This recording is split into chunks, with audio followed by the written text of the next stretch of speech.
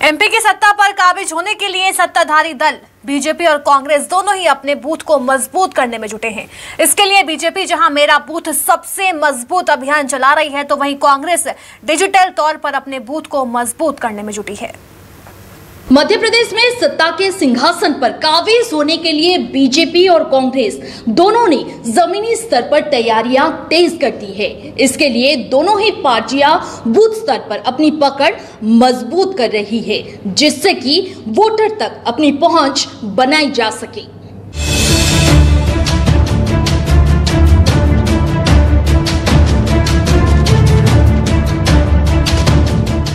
अगर नींव मज़बूत होगी, तभी इमारत बुलंद होती है। ये बात सियासतदान भी भली भांति जानते हैं। शायद इसलिए बीजेपी और कांग्रेस दोनों ही दल बूथ स्तर पर अपने को मज़बूत कर रहे हैं। अपनी सफलता की ज़मीन को पुख्ता कर रहे हैं, जिससे कि असफलता की कोई गुंजाइश न रहे। खासकर बीजेपी उन सीटों पर खास ध्यान दे रही है, जहाँ पिछली बार उसे शिकस्त झेलनी पड़ी।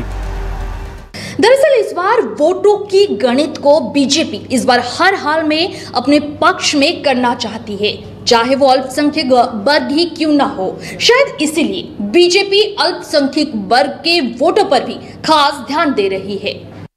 हालाँकि बीजेपी का दावा है कि मध्य प्रदेश में इस बार उसकी ही सरकार बनेगी लेकिन सवाल ये कि अगर बीजेपी को भरोसा है कि एमपी में सत्ता पर वो ही काबिज होने वाली है तो फिर वो बूथ को मज़बूत करने की उसे ज़रूरत क्यों आन पड़ी?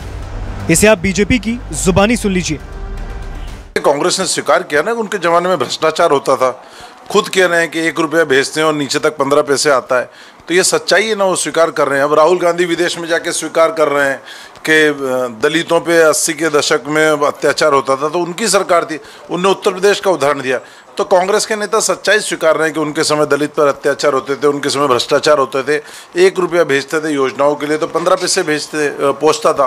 पिचासी पैसे, भ्रष्टाचार की भेंट चढ़ जाते थे।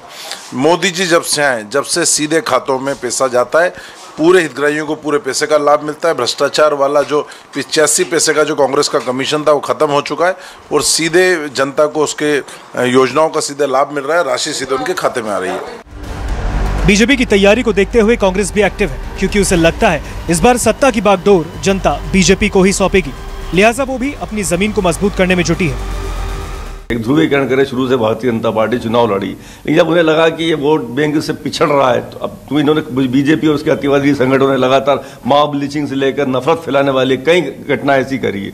अब ये इस, इस अल्पसंख्यक वर्ग को लुभाने का प्रयास किया लेकिन अल्पसंख्यक वर्ग अच्छे समझता भारतीय जनता पार्टी की चालों को इनके बहकावे में आने वाला नहीं है। दरअसल इस बार वोटों की गणित को बीजेपी इस बार हर हाल में अपने पक्ष में करना चाहती है। चाहे वो अल्पसंख्यक वर्ग ही क्यों ना हो।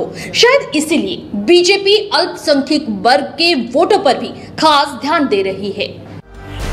2018 के आंकड़े को इस बार बीजेपी बदलना चाहती है और 2013 वाला इतिहास दोहराना चाहती है, जिससे कि सत्ता के सिंहासन तक आसानी से पहुँचा जा सके। न्यूज़ 24 मध्य प्रदेश, छत्तीसगढ़ के लिए इंदौर से हेमंत शर्मा की रिपोर्ट।